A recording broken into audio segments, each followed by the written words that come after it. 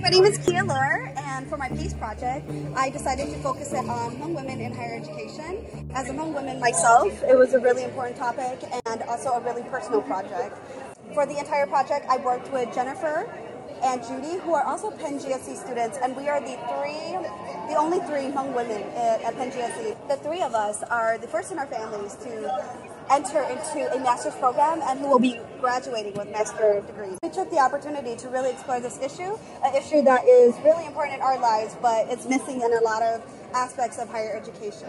The project um, really looks at three different oppressions. Um, looking at the gender oppression that comes with being a Hmong women, um, looking at the nationality and the ethnicity um, component of being Hmong, and then what does that mean uh, in terms of like education attainment? Specifically for me in this project, I wanted to uh, take the time to really reflect on my growth over the years of being you know, from K through my master's degree, and also to look at the barriers and the challenges of what it means to be a Hmong American educated women who come from a, very high poverty background, but is really high achieving. For my project, we took an autoethnographic approach to looking at the Hmong women experience. It uses principles of autobiographies, in which we all wrote our autobiographies, and then using concepts and principles of ethnography. How do we look at the bigger phenomenon, the cultural phenomenon of what is happening within that space and for that culture and for that community?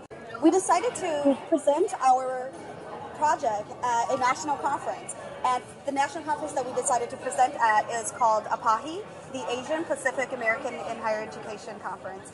And the conference is actually right here uh, in Oakland, California. And we did our presentation this morning on April 8th at 11 o'clock this morning.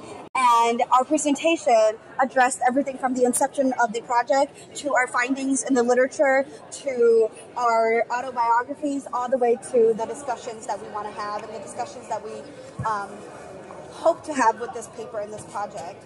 One of the things I've learned through presenting and through this project is how important it is to tell our stories and how important it is to share those stories with native Hmong people and non-native Hmong people and to recognize that it is a problem and that we really need to also add that when we talk about race and oppression and sexism and um, misogyny and all of those things, that the Hmong women narrative is being missed out in all of those narratives. And so um, that's been a really important learning experience for me is to just share my story.